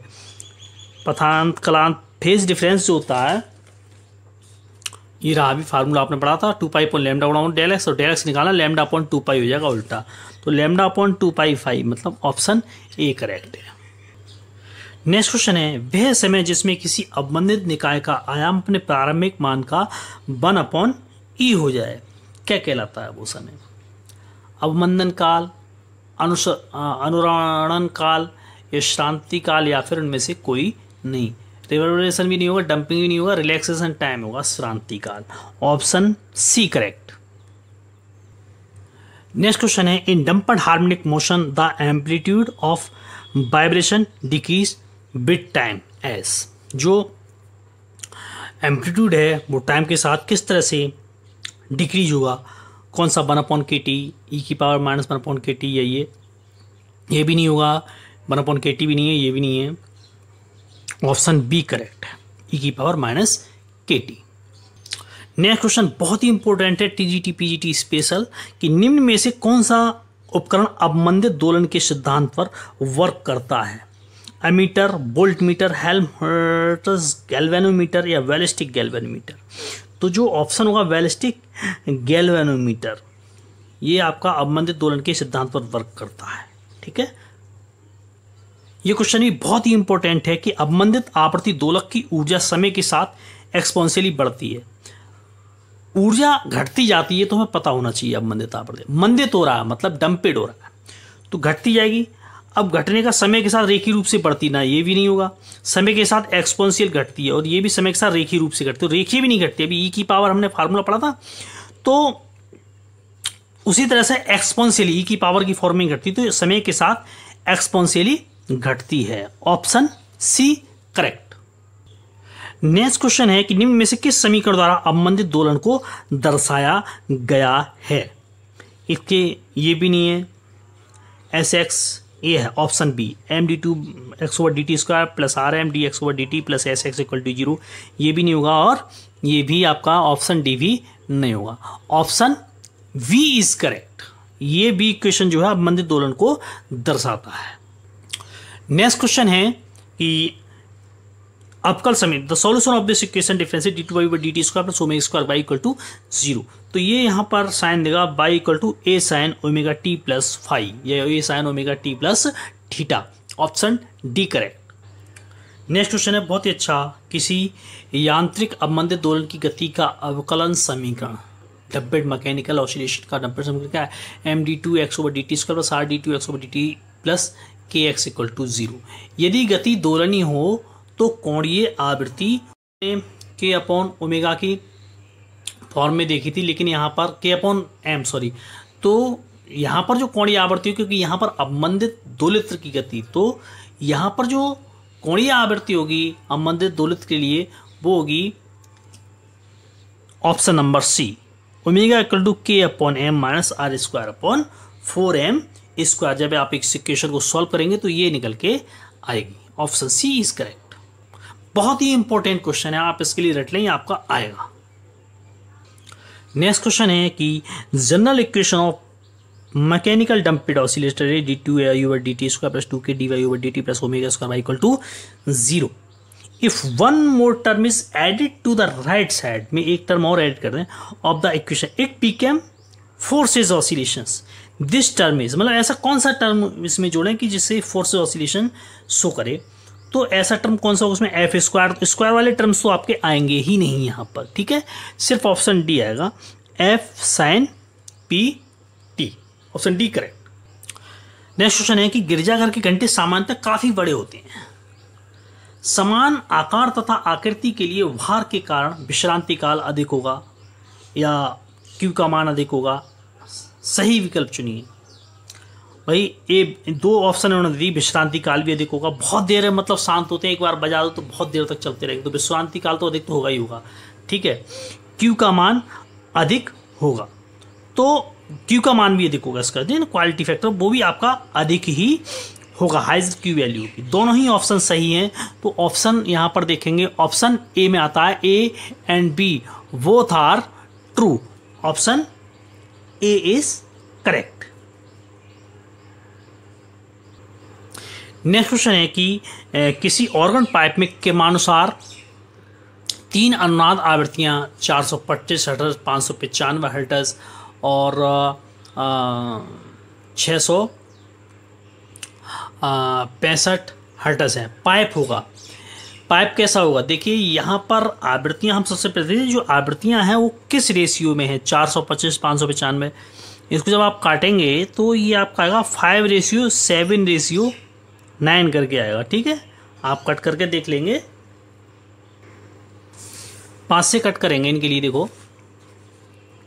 पाँच से कट करेंगे, पिचासी हो गया, पाँच फाइव वन वन और फोर्टी फाइव एक सौ उन्नीस। वन फाइव और वन तीन काटेंगे। सत्रह पंजे पचासी, सत्रह सत्तर एक सौ उन्नीस, सत्रह नेमा एक सौ तिरपन। जो ऑप्शन निकल के आएगा यहाँ पर, वो क्या है? पाँच सात, पाँच सातों सब क्या है? विषम आए एक तरह से, ठीक है? ऑड आए ऑड जो होते हैं, वो किसमें होते हैं?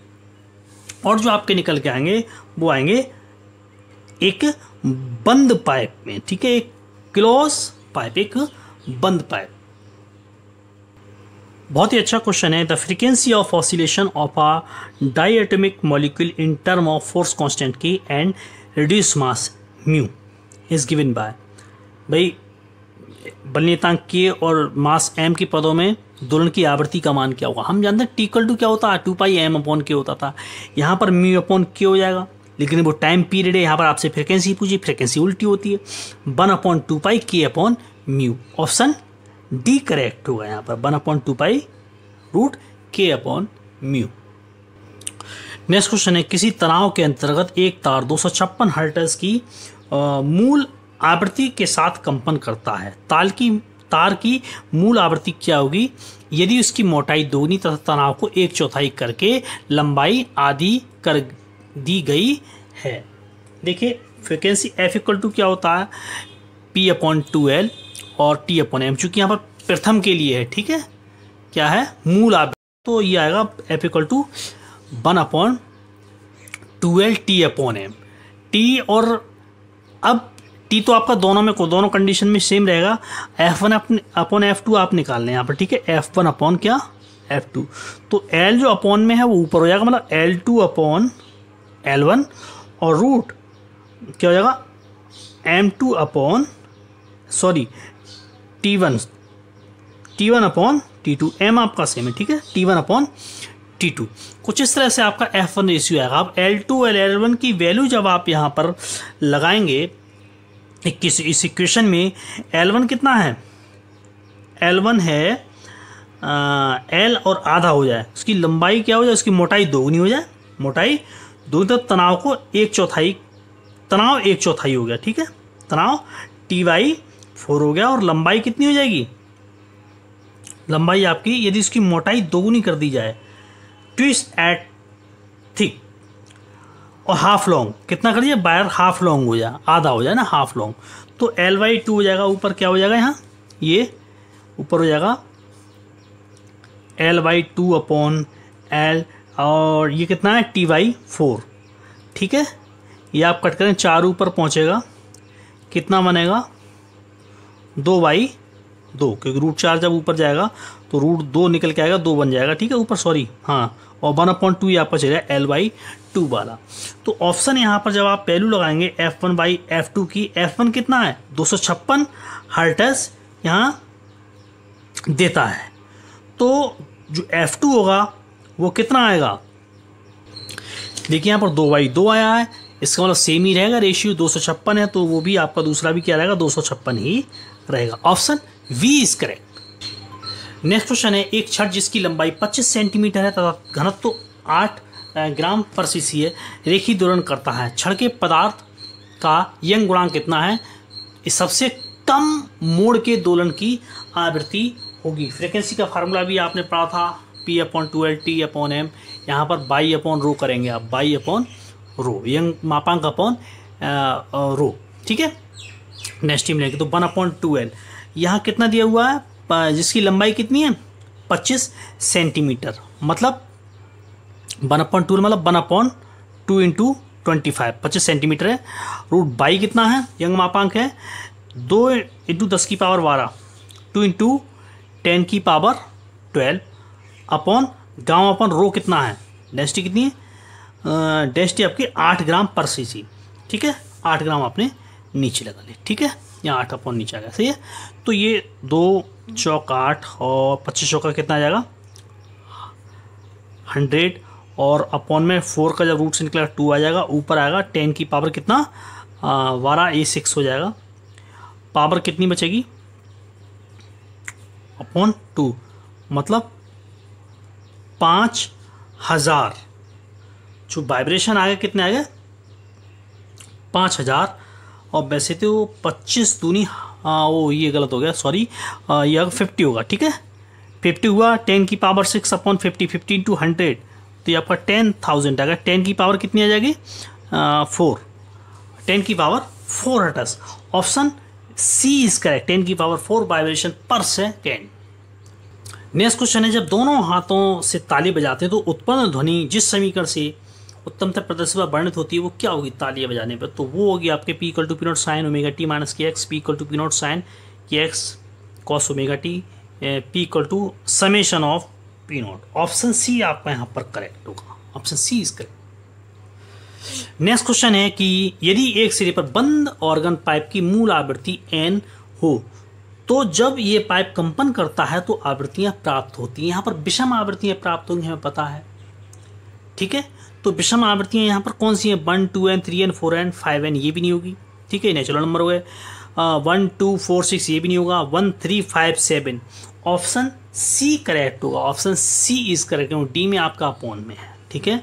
सी आपका सही होगा बंद ऑर्गन पाइप के लिए।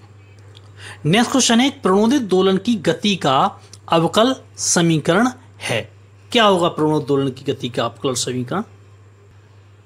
ऑप्शन है M D two X over D T square plus R D X over D T plus K X equal to M D two X over D T square plus R D X over D T plus K X equal to zero ये zero भी नहीं, ये भी नहीं होगा।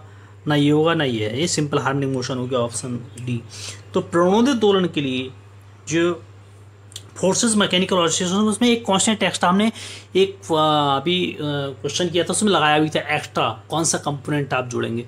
तो वहाँ पर अपने, आपने एपनॉस कॉसोमेगा टी जोड़ा था। तो ऑप्शन आपका ए यहाँ पर प्रणोदित दोलन के लिए सही होगा, ठीक है? फोर्सेज मैकेनिकल ऑसिलेशन के लिए, ठीक है? ऑप्शन ए इज़ करेक्ट बहुत अच्छा क्वेश्चन है। The equation of motion of body of mass M attached to one end of a spring of force constant की ये क्वेश्चन आपका दिया हुआ है। तो पिंड के दोलन का आवर्तकाल क्या होगा? बहुत सिंपल सी बात है। यहाँ पर एम है, यहाँ के है तो two pi M upon K होगा। आपने पढ़ा होगा ये question T equal to two pi root M upon K option A is correct इस क्वेश्चन में एक एल लंबाई वाला छड़ दोनों सुनाव पर तथा मध्यम बता हुआ है। यदि ध्वनि का वेग बी हो तो छड़ की न्यूनतम कंपन आवृत्ति होगी। कितनी होगी? वो आपकी रहेगी वी वेग है एल लंबाई तो B upon L option A आपका यहाँ पर करेक्ट हुआ B upon L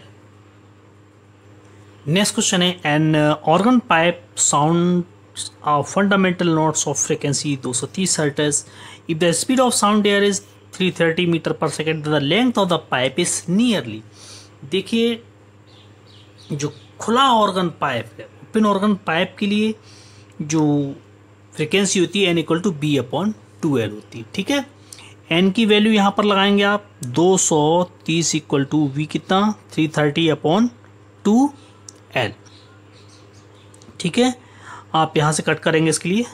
ये ज़ीरो ज़ीरो ट्वेंटी थ्री मतलब forty twenty three two forty six upon thirty three equal to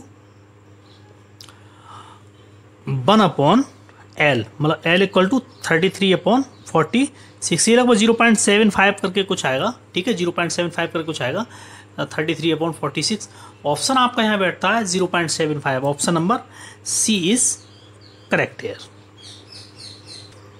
next question है, बहुत अच्छा है, कि a close organ pipe produce a fundamental frequency of चार सौ चौरासी Hector this pipe is cut into two equal parts the fundamental frequency produce in these two organ pipe will be देखिए यहाँ पर जब क्लोज पाइप को आप cut करेंगे भाई क्लोज पाइप एक साइड से, एक साइड से क्या था? क्लोज था, दूसरी साइड से खुला वो तो कट करेंगे तो ये ये एक तो आपका ओपन पाइप बनेगा, एक क्लोज बनेगा। ओपन पाइप के लिए एन इक्वल टू क्या होता है? B upon two L close के लिए क्या होता है? N equal to V upon four L ठीक है? तो है। अब यहाँ पर देखते हैं, पाइप को आपने कट किया तो ए लेंथ कितनी हो जाएगी? एल की। एल वाई टू हो जाएगी। यहाँ पर आप क्या रखोगे? लेंथ एल वाई टू यहाँ पर L by two N equal to क्या हो जाएगा ये? B upon L N one मतलब सॉरी ये क्या है? वन के लिए एन टू इक्वल टू क्या हो जाएगा? B upon two L. अब यहाँ पर चूँकि जब ये बंद पाइप था तो उसकी जो फंडामेंटल फ्रिक्वेंसी थी वो चार सौ चौरासी थी। मतलब बी अपॉन जो फोर एल था बी अपॉन फोर एल था, वो कितना था? चार सौ चौरासी था। फोर फिफ्टी फोर तो बी अपॉन एल कितना आएगा? चार से मल्टीप्लाई हो जाएगा इधर जाके, चार सौ चौरासी पर। तो ये जो बनेगा आपका एन वन एन वन जो आपका बन रहा है, वो कितना बनेगा N one B upon L है। बी एल मतलब चार इंटू चार सौ चौरासी। ये आएगा लगभग लगभग उन्नीस सौ छत्तीस। ठीक है? उन्नीस सौ छत्तीस आ गया इसमें। लगभग लगभग चार सौ चार सौ उन्नीस छत्तीस आएगा। इसका आधा कुछ नौ सौ करके आएगा। तो यहाँ पर ऑप्शन हम देखेंगे नौ सौ अड़सठ। एक देखो, नौ सौ अड़सठ आ गया, उन्नीस सौ छत्तीस भी आ गया। भाई क्रॉस के लिए आपका क्या आएगा? ओपन के लिए आ गया उन्नीस सौ छत्तीस और क्लोज के लिए नौ सौ अड़सठ। ठीक आधा आ गया ना? ऑप्शन नंबर डी करेक्ट हो जाएगा। बहुत ही अच्छा क्वेश्चन है। इसकी वायु में हवा की चाल 350 मीटर पर सेकेंड है। 50 सेंटीमीटर लंबाई की खुली ऑर्गन नलिका के मूल सुरख की आवृत्ति होगी। देखिए, पाइप यहाँ पर खुला हुआ है तो खुले हुए पाइप के लिए बी इक्वल टू क्या होता है? N equal to B upon two L होता है। N equal to B upon two L B कितना है? तीन सौ तीस। और टू एल एल कितना है यहाँ पर दिया हुआ?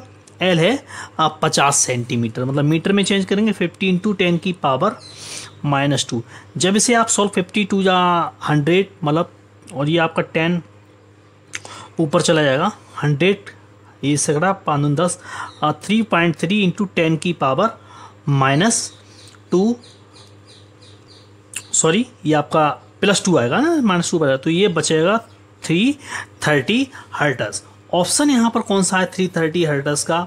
वो है, ऑप्शन थ्री थर्टी का तो नहीं थ्री सॉरी ये स्पीड थ्री फिफ्टी है ना तो थ्री थर्टी नहीं होगा थ्री फिफ्टी ही आ जाएगा, ठीक है? Option B is correct next question है कि दो तरंगे जिनके आयाम तथा वेवलेंथ समान हैं, लेकिन भिन्न कलाओं की हैं। आयाम और वेवलेंथ समान, लेकिन भिन्न कलाओं की आध्यारोपित की जाती हैं। परिणामी तरंग का आयाम अधिकतम होगा। जबकि कलांतर मतलब कलांतर कितना हो कि जो परिणामी तरंग, उसका आयाम क्या हो? मैक्सिमम हो। तो मैक्सिमम के लिए तो भाई, जब कॉस ज़ीरो होगा मतलब वन वैल्यू ज़्यादा होना चाहिए, यहाँ पर कॉस होता है कॉस तो जो आपका मैक्सिमम कलांतर होगा, वो आपका ज़ीरो होगा ए इक्वल टू मतलब sorry option number A is correct maximum आयाम के लिए कलांतर ज़ीरो। नेक्स्ट क्वेश्चन बहुत अच्छा है, बहुत ही इंपॉर्टेंट है। हर बार पूछा जाता है कि दो coherent monochromatic light beam of intensity I and fry are suppose ठीक है सुपरपोज ठीक है सुपरपोज हो जाते हैं अध्यारोपित हो जाते हैं। The ratio of the maximum minimum possible intensity in the resulting beam maximum minimum possible जो है आपकी इंटेंसिटी है, उनका रेशियो क्या होगा? पहले सबसे पहले फार्मूला देख लेते हैं। फार्मूला जो होता है मैक्सिमम मिनिमम का होता है I maximum I minimum equal to root I plus root I two का होल स्क्वायर और root I one plus root I two मर sorry minus root I two का होल स्क्वायर रूड आई कितना है? I one कितना है? यहाँ पर आई है। ठीक है? आई रूड आई मतलब आई हो जाएगा। ठीक है? यहाँ पर root I plus four I मतलब फोर रूड आई का होल स्क्वायर अपॉन वही चीज़ root I minus four root sorry root four I ठीक है? का होल स्क्वायर ये कितना आएगा? रूट आपका निकल के बाहर जाएगा फोर आई मतलब टू ये आएगा दो और three root I upon minus two root I sorry minus root I का होल स्क्वायर हो जाएगा टोटल ठीक है? टोटल होल स्क्वायर हो गया. और ये जो निकल के आएगा आएगा nine upon one nine ratio one आ गया. तीन स्क्वायर है तीन का स्क्वायर नाइन आ जाएगा. ठीक है? थ्री थ्री जो नाइन और ऑप्शन यहाँ पर बैठता है नाइन रेशियो वन मतलब option number C is correct next question है, निम्नलिखित प्रविधियों में से, निम्नलिखित प्रविधियों में से कौन सी प्रविधि अल्ट्रासोनिक तरंगों से संबंधित है? अल्ट्रासोनिक से संबंधित है sonography option B is correct next question है कि तरंगों के आध्यारोपण की घटना में तरंग ऊर्जा पुनः पुनर्वितरित हो जाती है, अपव्यय हो जाती है। उत्पन्न होती है, हर जगह समान होती है। है ये कंजर्वेशन ऑफ़ एनर्जी पर होती है घटना जो भी है आध्यारोपण की सुपर पोजिशन की। तो इस कंडीशन में जो एनर्जी होगी, वो क्या होगी? हर जगह सेम होगी। Remain uniformly uniform everywhere option D is correct next question बहुत ही अच्छा है कि जब अविलंबित चलने वाली दो ज्यावक्रिय तरंग हैं दो ज्यावक्रिय तरंगें सिनोसोइडल वेव्स आपस में आध्यारोपित होती है सुप्रपोज होती है तो उत्पन्न होती है। क्या उत्पन्न होती है? यहाँ जो उत्पन्न होगा, वो लिसाजु चित्र उत्पन्न करेगी। ठीक है? लिसा use option D is correct. Next question बहुत अच्छा है कि समान आवृत्ति तथा आयाम की दो तरंगें विपरीत दिशाओं से आकर मिलती हैं, अपोजिट डायरेक्शन से मिलती हैं। ध्यान रखना है। एंगल क्या है अपोजिट डायरेक्शन में? एंगल आपका रहेगा पाई। है ना? एक सौ वन एट्टी अपोजिट डायरेक्शन में तथा इनके बीच कालांतर पाई है, ठीक है? यदि प्रत्येक तरंग का आयाम ए हो तो परिणामी आयाम होगा। परिणामी आयाम के लिए एक फार्मूला है। फार्मूला देखेंगे, आया A equal to A one square plus A two square plus two A one A two cos phi यहाँ पर ए वन मतलब ए ही है सेम है सब कुछ। A square plus A square plus two A ये A A one A two A square हो जाएगा। कॉस फाइव मतलब कॉस पाई की वैल्यू क्या होगी? कॉस पाई की वैल्यू जो होती है, वो क्या होती है? कॉस पाई की वैल्यू माइनस वन होती है। जो पाई का कलांतर है, आप यहाँ देखेंगे तो यहाँ पर आपका क्या आएगा? माइनस आएगा। ठीक है? जब यहाँ माइनस आ जाएगा तो ये जो फार्मूला क्या है, ये तो ज़ीरो हो गया। एम्पलीट्यूड कितना होगा फिर? उस कंडीशन में एम्पलीट्यूड ज़ीरो आ रहा है। तो ऑप्शन नंबर ए यहाँ पर करेक्ट होगा। A is correct zero same इसी तरह का एक क्वेश्चन और आ गया। कुछ इसी टाइप का समान आयाम और फ्रिक्वेंसी लेकर लेकिन कला में अंतर की दो तरंगें जो एक ही दिशा में चल रही हैं सेम डायरेक्शन में चल रही हैं, ठीक है? और आध्यारोपित की गई हैं। प्रणामी तरंग का आयाम अधिकतम होगा जबकि उनके बीच कलांतर क्या हो? भाई एम्पलीट्यूड कब अधिकतम होगा? जरा आप यहाँ देख कर बता सकते हैं कि इसकी वैल्यू क्या हो? कॉस की वैल्यू क्या हो? पॉजिटिव वन हो पॉजिटिव वैल्यू कब आती है? जब फाइव इक्वल टू क्या हो या तो ज़ीरो हो या क्या हो? तीन सौ साठ डिग्री हो मतलब टू पाई हो तो दो कंडीशन में आपका ज़ीरो आता तभी, सॉरी, ज़ीरो नहीं मतलब वन आता है। कॉस ज़ीरो की वैल्यू वन होती है तो इसकी वैल्यू क्या होगी? ये प्लस का साइन है तो ज़्यादा, सबसे ज़्यादा आएगी। ठीक है? उस कंडीशन में जो फाइव होगा, वो आपका क्या होगा? या तो टू पाई ले लो, या फिर क्या ले लो? ज़ीरो ले सकते हैं उसके लिए। अब यहाँ पर देखते हैं ऑप्शन में कौन सा ऑप्शन ठीक है। Option number A, two pi और ज़ीरो इज़ करेक्ट। बहुत ही अच्छा क्वेश्चन है नेक्स्ट दो वेवलेंथ जिनका अनुपात मतलब वेवलेंथ का नहीं मतलब इंटेंसिटी इंटेंसिटी का रेशियो सोलह अनुपात नौ है आई वन आई टू ठीक है? आध्यारोपण करती इनमें अधिकतम और न्यूनतम तीव्रताओं का अनुपात होगा। हमने एक फार्मूला पिछले क्वेश्चन में पढ़ा था कि I maximum upon I minimum होता है root I one plus I root I two I one minus I two का, दोनों का होल स्क्वायर यहाँ पर सोलह और नौ रेशियो हम रेशियो ही ले लेंगे। सोलह यहाँ रखेंगे तो रूट सोलह कितना आ जाएगा? चार आ जाएगा यहाँ, तीन आ जाएगा। चार और तीन कितना आएगा सात। कितना आएगा? सात। ये आ गया आपका सात का स्क्वायर और नीचे क्या है? चार माइनस तीन मतलब क्या वन का स्क्वायर मतलब सात सत्य उनचास रेशियो वन मैक्सिमम और मिनिमम इंटेंसिटी में जो रेशियो आएगा फोर्टी नाइन रेशियो वन आएगा। यहाँ ऑप्शन नंबर वी करेक्ट है।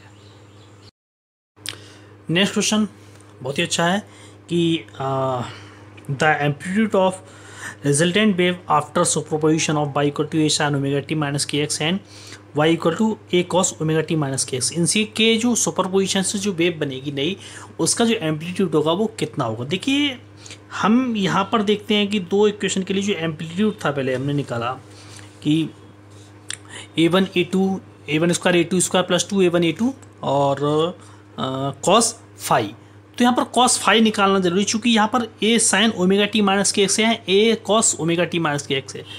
ये थीटा मान लें तो ए साइन थीटा मतलब pi by two minus theta करेंगे तो कॉस थीटा आ जाएगा। यहाँ पर यहाँ पर pi by two minus theta करेंगे तो कॉस का क्या हो जाएगा? साइन हो जाएगा। मतलब जो जो उनका फ़ेज़ डिफरेंस है, वो कितना हो जाएगा? पाई बाई टू का होगा इसमें। तो फाइव की जगह पाई बाई टू की कॉस फाइव की जगह पाई बाई टू आप लाएँगे तो ये पोर्शन आपका ज़ीरो हो गया। ए वन स्क्वायर मतलब एम्पलीट्यूड दोनों में क्या आपका? सेम ही है, देखो दोनों में ए ए है। A one square A square plus A square तो ये कुल मिला के क्या जाता है टू ए स्क्वायर क्या? रूट टू ए स्क्वायर ये निकल के आएगा रूट टू ए तो जो ऑप्शन है रूट टू ए का, वहाँ ऑप्शन है आपका A option number A correct root two A next question है a star emitting light of wavelength uh, 5000 angstrom is coming uh, toward the earth with a speed equal to 1.5 into 10 की power 6 meter per second the change in wavelength of the radiation received on the earth will be तो earth पर जो radiation जो change होगा wavelength का receiving का वो कितना होगा बहुत इंपॉर्टेंट क्वेश्चन है और बार बार ये एग्ज़ाम में आपसे पूछा जाता है टीजीटी पीजीटी के लिए तो जो वेवलेंथ में चेंजिंग का एक फॉर्मूला होता है वो del lambda equal to v upon c lambda होता है। बी की वैल्यू क्या है यहाँ पर? One point five into ten की power six. One point five into ten की पावर सिक्स। और पाँचवा एंगस्ट्राम बी और जो सी की वैल्यू क्या होती है? प्रकाश की चाल। तीन गुणा दस की पावर आठ। ठीक है, और बेवलेंथ क्या है? पाँच हज़ार। एंगस्ट्राम टेन की पावर माइनस टेन हो जाएगी। और सब जब सेट करेंगे आप तो ये जो निकल के आएगा, वो कितना आएगा? आठ पावर आपकी छः पावर यहाँ कितनी बची? ये थर्टी हो गया वन अपॉइंट टू बना, और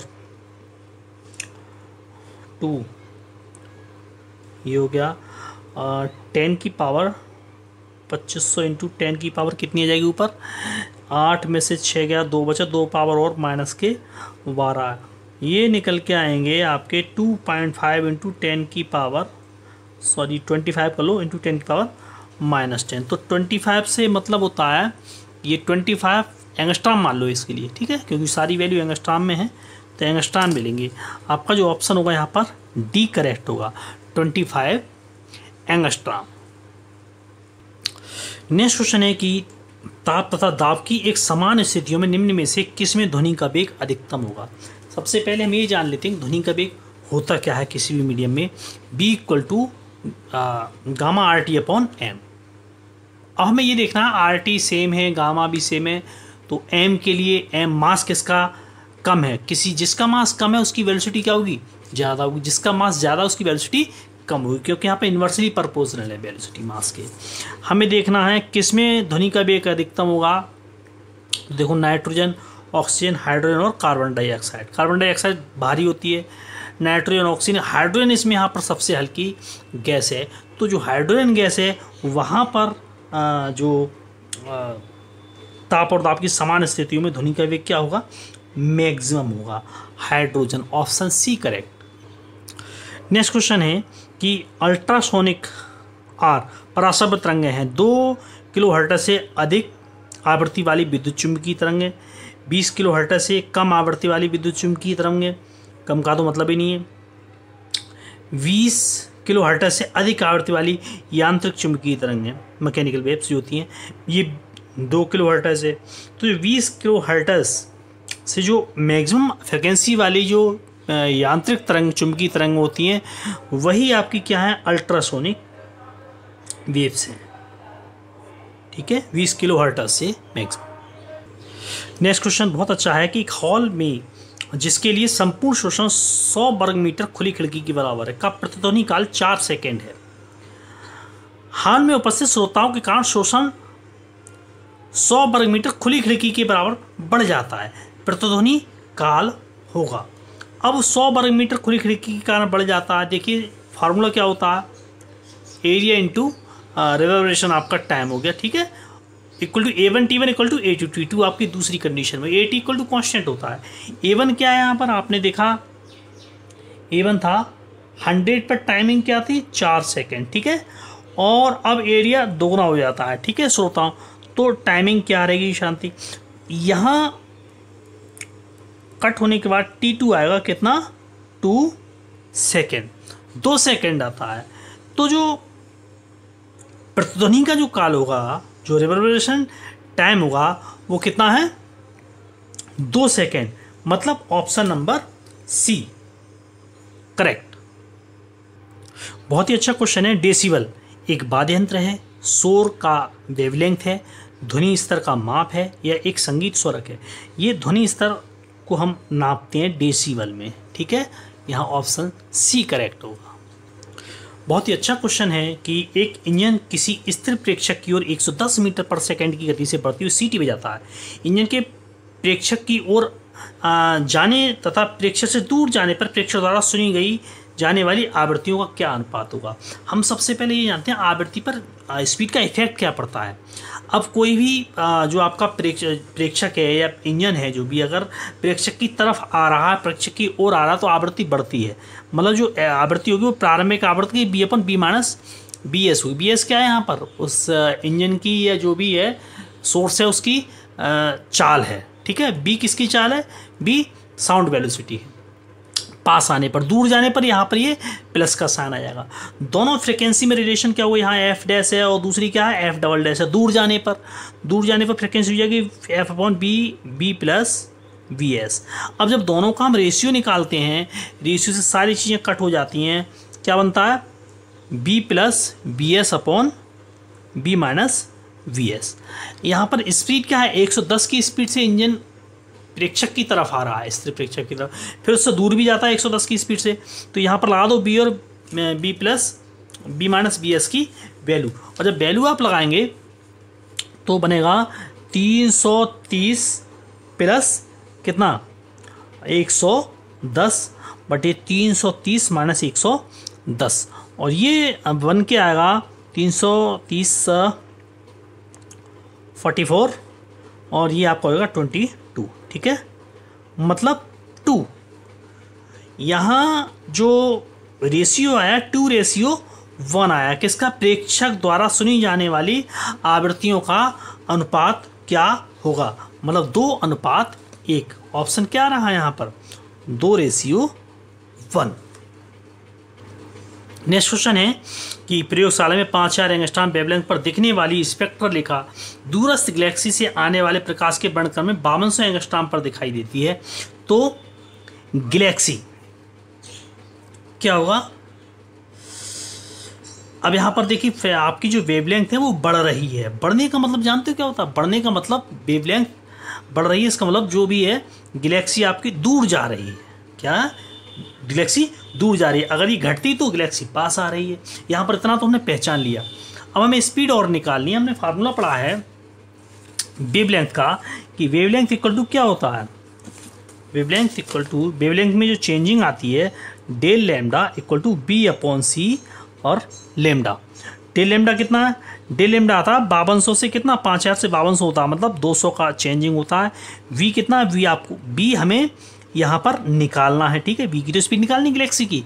और सी क्या है? थ्री इंटू टेन की पावर एट लाइट वेलोसिटी हो गई। और लेमडा कितना है? पाँच हज़ार ठीक है? पाँच हज़ार है गलेक्सी इस तरह प्रयोगशाला में ठीक है? दिखने वाली स्पेक्टर दिखा। तो आ, कट करेंगे। वी इक्वल टू क्या आएगा?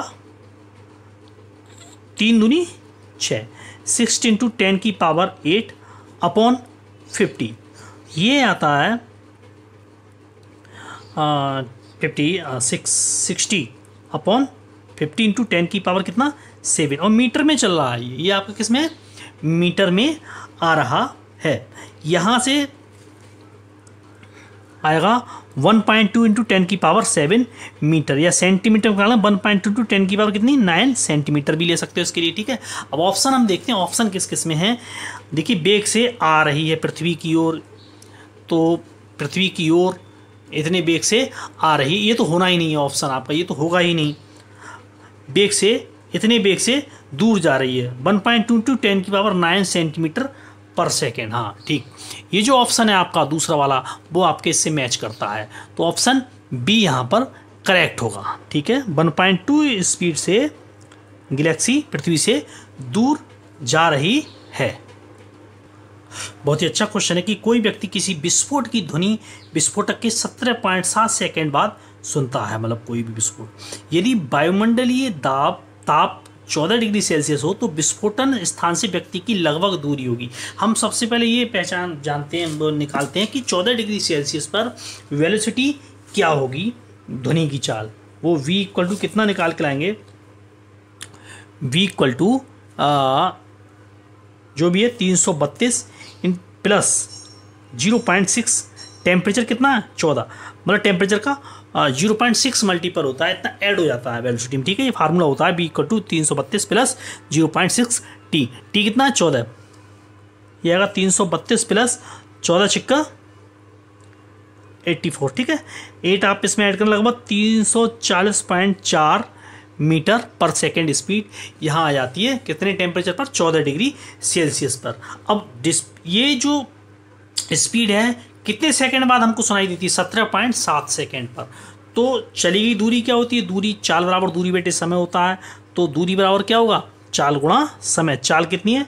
तीन सौ चालीस पॉइंट चार। समय कितना? सत्रह पॉइंट सात सेकेंड। और सत्रह पॉइंट सात जब दोनों को मल्टीप्लाई करोगे, ये आप दोनों के लिए तो लगभग लगभग सत्रह चौका अड़सठ सत्रह इक्यावन, लगभग लगभग सिक्स आएगा ये, ठीक है? सिक्स और मतलब छः हज़ार कुछ के आसपास आएगा मतलब छः हज़ार मीटर या किलोमीटर में देख लेंगे, ज़्यादा हमको सॉल्व नहीं करना। ऑप्शन को चेक करेंगे। ऑप्शन क्या कहता है कि ऑप्शन यहाँ पर जो मैचिंग कर रहा है वो आ रहा है सिक्स किलोमीटर। जो दूरी होगी, वो होगी छः किलोमीटर। यहाँ क्वेश्चन है, बड़ा अच्छा लाल विस्थापन का अर्थ क्या है? हम यहाँ समझ लेते हैं रेड शिफ्ट क्या होगा? मतलब वेवलेंथ सबसे ज़्यादा वेवलेंथ किसकी होती है? लाल रेड कलर की होती है। तो जब वेवलेंथ बढ़ रही होती है, मैंने अभी बताया था, जब वेवलेंथ बढ़ रही होती है तो इसका मतलब प्रेक्षक जो है या सोर्स जो है, दूर जा रहा होता है, ठीक है? और वेवलेंथ अगर घट रही है तो प्रेक्षक पास आ रहा होता है। तो यहाँ पर लाल विस्थापन क्या होगा? स्रोत प्रेक्षक से दूर जा रहा है। बाकी तो कोई होगा स्रोत प्रेक्षक के निकट आ रहा है। स्रोत तथा प्रेक्षक में आप की गति नहीं है। तो वेवलेंथ इसका मतलब लाल विस्थापन का मतलब वेवलेंथ बढ़ रही है, इसका मतलब स्रोत प्रेक्षक से दूर जा रहा है। ऑप्शन ए करेक्ट है। नेक्स्ट क्वेश्चन है कि समुद्र की गहराई नापने के लिए निम्न में से किसका प्रयोग करते हैं? बहुत ही इंपॉर्टेंट क्वेश्चन है। बार बार पूछा जाता है। तो समुद्र की गहराई नापने के लिए हमने पढ़ा होगा लाइट वेव तो होती ही हैं, पराश्रव्य तरंग जो अल्ट्रासोनिक वेव्स हैं, उनसे हम समुद्र की गहराई नापते हैं। नेक्स्ट क्वेश्चन बहुत ही अच्छा है कि तारों के बणकम रेखाओं में लाल रंग का विस्थापन हमें बताता है कि ब्रह्मांड फैल रहा है, सिकुड़ रहा है चक्र। मतलब हमें लाल रंग बणकम से सीधा सीधा सिद्धांत निकलता है कि दूर जाना तो रेड शिफ्ट होगा। दूर जाने का मतलब क्या है? ब्रह्मांड क्या है? फैल रहा है। मतलब सिकुड़ नहीं रहा है, बल्कि फैल रहा है। चक्कर भी नहीं काट रहा है, बल्कि फैल रहा है। डॉपलर इफ़ेक्ट में यही प्रूव हुआ था कि जो ब्रह्मांड है वो आपका फैल रहा है। ऑप्शन नंबर ए करेक्ट होगा। ठीक है? नेक्स्ट क्वेश्चन है कि निम्न में से कौन सा उपयोग अल्ट्रासोनिक से संबंधित है? क्रिस्टल सम्मिति ये तो होगा ही नहीं। सिग्नलिंग भी नहीं होगा प्रकाशी संचार प्रकाश से संबंधित है। और ये किससे? अल्ट्रासोनिक से आप, आपने अभी पढ़ा था कि डेप्थ साउंडिंग ठीक है? डेप्थ साउंड मतलब गहराई मापन में भी इसका आप उपयोग करते हैं ध्वनि के उपयोग से। तो ऑप्शन डी यहाँ पर sorry sorry sorry sorry sorry sorry संबंधित नहीं है सॉरी संबंधित नहीं है। संबंधित नहीं है क्या है? इससे तो संबंधित है। यहाँ सिर्फ़ और सिग्नलिंग के भी सिग्नल भी दिए जाते हैं साउंड से क्रिस्टल समेट्री भी आपकी आ जाती है, ठीक है? और ऑप्टिकल कम्युनिकेशन सिर्फ़ प्रकाश से संबंधित है, ना कि साउंड से। तो ऑप्शन सी यहाँ पर क्या होगा? इससे संबंधित नहीं होगा। नेक्स्ट क्वेश्चन है कि स्पेक्ट्रमीय रेखाओं की मोटाई का कारण क्या है? डॉपलर का प्रभाव, वर्ण विक्षेप, परावर्तन या अपवर्तन तो यहाँ पर होगा डॉपलर इफ़ेक्ट ऑप्शन ए बहुत ही अच्छा क्वेश्चन है ये अगला कि एक पुच्छल तारे की सूर्य से अधिकतम व न्यूनतम दूरियाँ क्रमशः चौदह गुणा दस की पावर और सात गुणा दस की पावर सात किलोमीटर है। यदि इनकी अधिकतम गति छः गुणा दस की पावर दो किलोमीटर पर सेकेंड हो तो उसकी न्यूनतम गति होगी। हमें यहाँ पर फार्मूला लगाना है कि भाई बेल जहाँ पर भी आपका मैक्सिमम होगा, ठीक है? अब अपॉन बी मिनिमम। रिलेशन होता है B maximum upon B minimum equal to R maximum upon R minimum distance पर डिपेंडेंसी है। अब बी मैक्सिमम क्या है उन्होंने दिया है? छः गुणा दस की पावर दो किलोमीटर पर सेकेंड छः गुणा दस की पावर दो upon B minima equal to दूरी कितनी कितनी है? आ, दूरी है चौदह गुणा दस की पावर नौ सात गुणा दस की पावर सात। चौदह गुणा दस की पावर नौ और सात गुणा दस की पावर सात ठीक है? सात दूनी चौदह, और ये आपकी दो पावर बचेगी दस की, और बी मिनिमम इधर जाएगा, ठीक है? बी मिनिमम इधर हो गया, इधर आ गया six into ten six into ten की पावर टू मतलब सिक्स हंड्रेड ठीक है? और जो इधर है तो आपका दो इंटू दस की पावर दो है मतलब दो सौ ही आपके यहाँ पर नीचे आ गया। दो, तीन छः मतलब तीन किलोमीटर पर सेकेंड यहाँ पर जो स्पीड रहेगी वो ऑप्शन नंबर ए में आपका आ जाता है ये तीन किलोमीटर पर सेकेंड है जो न्यूनतम गति है। अगला क्वेश्चन है कि आ, एक गतिमान ध्वनि स्रोत के पीछे खड़े एक स्थिर स्रोता को आवृत्ति सुनाई देगी। कैसी आवृत्ति सुनाई देगी? मूल आवृत्ति से अधिक मूल आवृत्ति के बराबर है मूल आवृत्ति से कम। भाई अब पीछे खड़ा हुआ श्रोता है ठीक है? तो जो आवृत्ति होगी, मूल आवृत्ति से कैसी होगी? कम उसको सुनाई देगी। सीधी सी बात है, ठीक है? तो ऑप्शन सी यहाँ पर करेक्ट होगा। ये आपके बहुत ही महत्वपूर्ण और सटीक क्वेश्चन थे टॉप हंड्रेड क्वेश्चन जो हर एग्ज़ाम में आते हैं, जो बहुत ही मोस्टली इंपॉर्टेंट हैं। वीडियो अगर आपको पसंद आए तो लाइक शेयर कमेंट ज़रूर करें। साथ ही वेल आइकन को दबाएँ ताकि मेरा नेक्स्ट वीडियो आप तक पहुँचे। साथियों के साथ शेयर करें। साथ ही मेरा एक नेक्स्ट वीडियो आएगा, जिसमें बहुत ही महत्वपूर्ण प्रश्नों की एक श्रृंखला में डालने वाला हूँ। साथ बने रहें। Okay thank you